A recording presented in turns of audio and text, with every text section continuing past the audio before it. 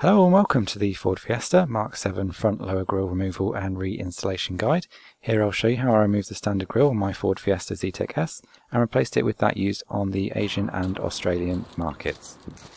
Now obviously step one is to remove the existing grille from the car. To do this I usually start in one corner, place my fingers through the holes on the front of the grille and my thumbs on the bodywork of the car.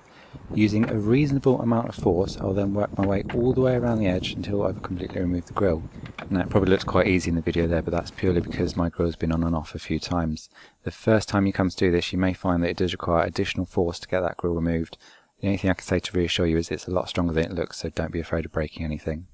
Now I usually find it easier to start with the bottom edge first, so looking at the photo here, you'll notice a row of slots along your bumper that I've highlighted in dark blue, and also a row of hooks, which I've highlighted in light blue.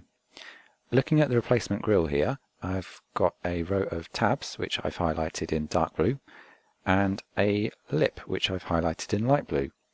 The idea is to get the tabs into the slots and the hook over the lip. Here I have included some close-up photos of the slots and the hooks, so feel free to pause the video at any point um, just to use as a reference to compare to your own vehicle.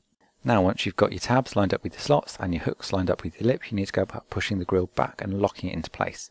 To do this, I've found there's three main pressure points along the bottom that I've highlighted here in purple.